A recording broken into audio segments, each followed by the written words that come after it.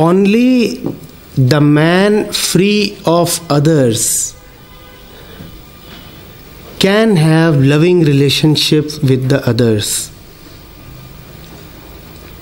It is only when you do not really need the other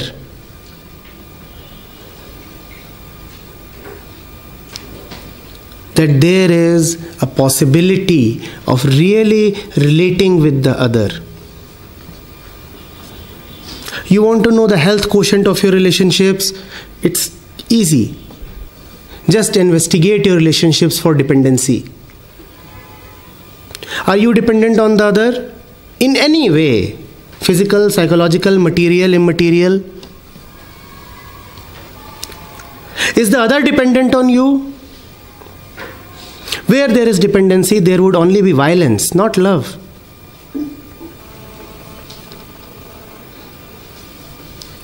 You need something, you're dependent on it. Would you bother for its freedom? The thing says, I want to go away, but you need it. Would you allow it to go away?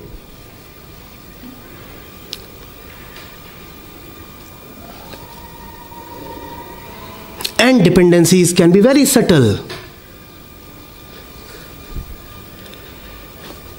Good news is, it is possible to relate totally and freely without being dependent. Spirituality or wisdom is not about cutting off your links from the world. Rather, it is about relating completely and fully. However, the main objective is never to relate with the other, the main objective is to remain centered in oneself. Relationship with the other comes as a byproduct, it comes as a surprise gift. I am immersed within myself, and strangely, surprisingly, pleasantly, I find that the whole universe is a friend. The universe was never my preoccupation. I was not thinking about the universe. I was not so bothered about the universe.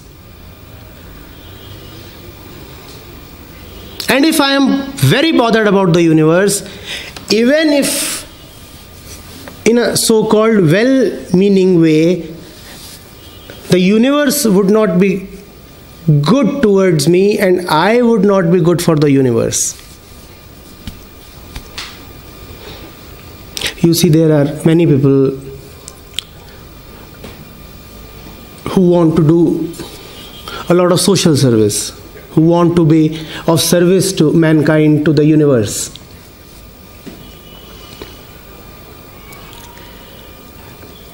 The way spirituality looks at it is if you can take care of yourself, the universe knows how to take care of itself. Why are you trying to solve the world's problems?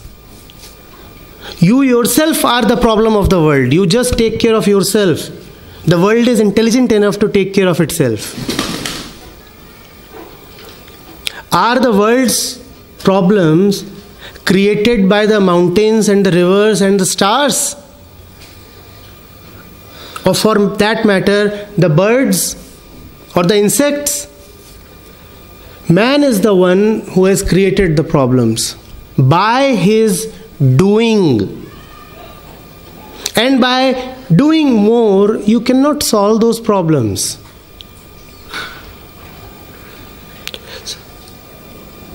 Get within, take care of yourself, the world will be all right.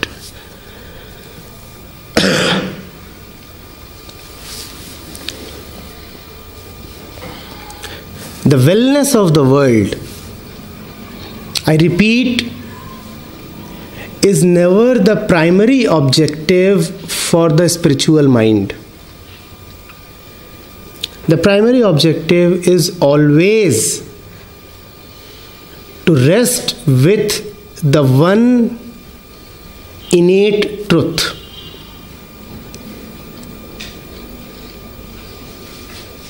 You rest with it, and the rest will be taken care of. You rest within yourself, and the rest will be taken care of. That is the secret of joyful relationships.